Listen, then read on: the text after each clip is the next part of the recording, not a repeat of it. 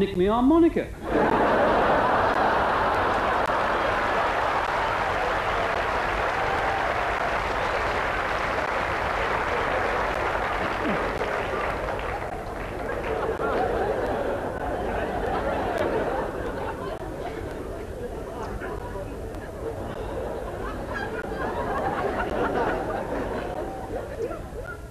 Isn't it? This equipment is fantastic, isn't it? I mean, like, the thing is, it, this is all fairly recent for me because for years I had to use those those big BBC cast iron microphones, you know, like big Victory V lozenges. they used to read the news and you could never see who it was. The thing is, when, when the BBC got rid of them, you know, they sold a great big job lot to all the working men's clubs in this country. And, and there's a technique in using them, and no one's ever found it, you know, except the BBC. That's why all working men's clubs might sound the same. Go,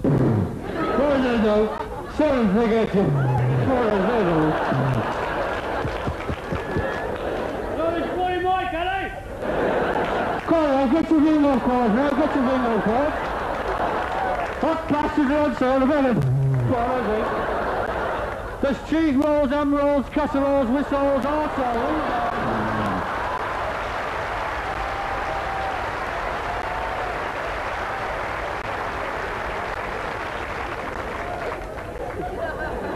There's half a ton of gob here, isn't it?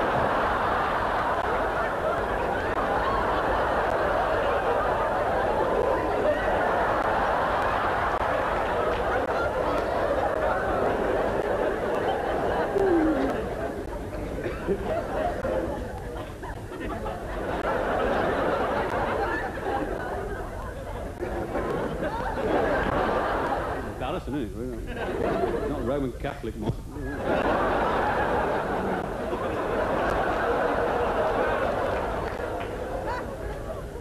suppose it's, it's, it's rock groups that have brought on all this stuff, really. I mean, can you imagine if rock groups had to use those great big cast iron BBC? Imagine Led Zeppelin, you know, da da da da da.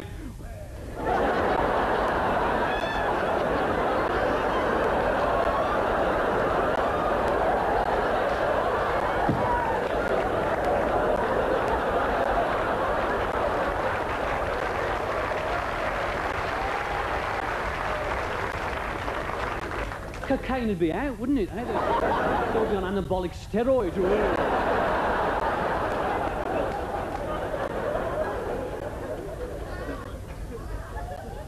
music, is music is amazing, it? And uh, is, is punk rock in or out? Does anybody know that? No, it's, it's, these, these things come and go so quick, don't they? You know, like, some people say it's in, some people say it's out. You know, but the thing is, like, I mean, if punk rock's out, people are going to lose fortunes, aren't they? I mean, like, like a mate of mine is a toy manufacturer, right? And he's, he's got a warehouse full of Sindy dolls that vomit.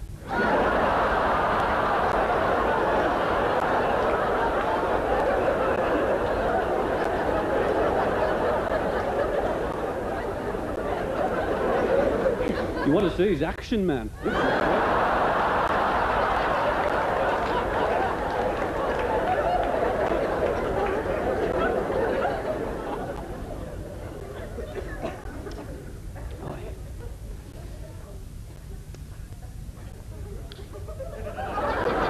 When you're on a bus, when you're on a when you're on a bus, when when the nutter gets on the bus, does the nutter sit next to you?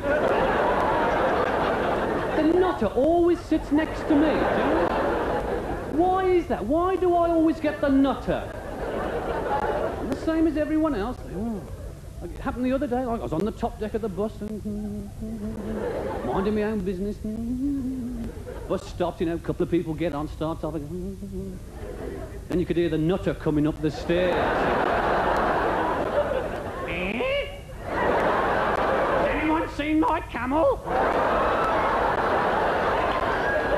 Nutter.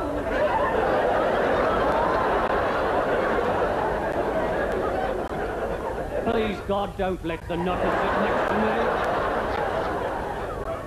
I bought the watchtower, please. And everybody starts stretching out on the seats, don't they? If I'm on the bus, no problem, they'll spot me. Must have this aura above my head, not a lover, you know? Is anyone seated? No, oh good. You can hear the visible sighs of relief from everyone else on the bus. And, oh, oh God, he's got the nutter. I thought I was in for that one, you know. It's a camel job, they're the words. And nutters love showing you things, don't they? I've got an atom bomb here, you know.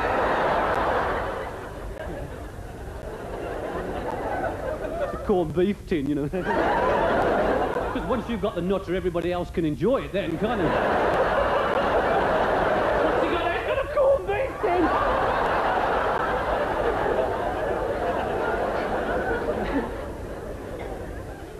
Have you paid your fare? Yes, here are my tickets. Oh, good. Rip, rip, rip, rip, rip, rip. I love weddings.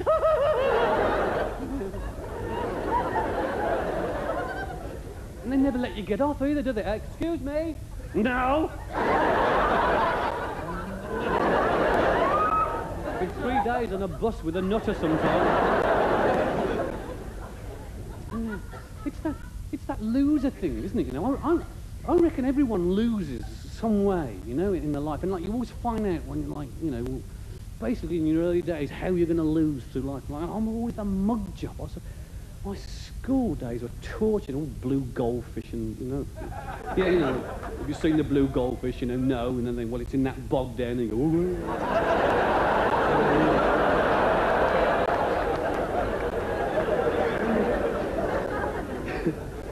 The first time I ever played rugby, right?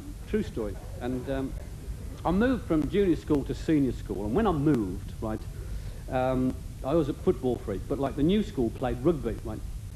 And uh, didn't know anything about it at all. And uh, all the first formers were in the same boat because we'd all played uh, football, like, and the new school it was rugby. And um, we're getting changed. First sort of spe- second day they had to get changed for rugby. We were all in the dressing room getting changed. And they're like, and, and that was an event because you'd never, you'd never have to change in front of anybody in the juniors, did you? I mean, like you could wear your football shorts over your trousers, couldn't you? yeah, get your bags in.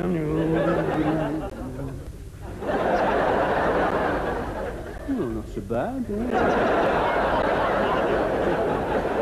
Bragging there. And I was getting changed, you know, and a couple of prefects came in and they started wandering around, you know, and uh, they came up to me, you see. They said, uh, you played rugby before, mate? No, no, no. Ooh, it's an awful rough sport, you know. You think, yeah, blood, guts, gore.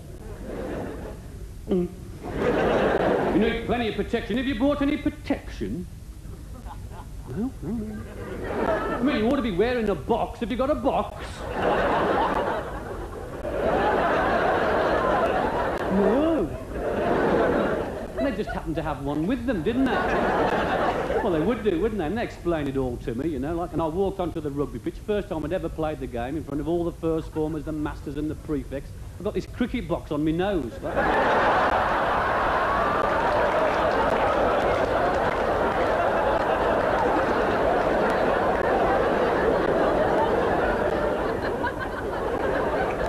Perfectly logical to me. Thought it smelt a bit, you know. I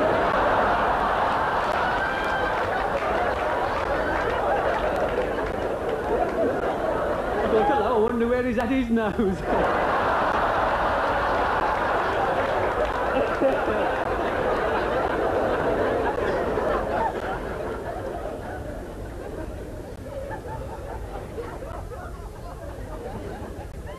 That loser thing. I can never break the law either. That's a, well, I can, obviously.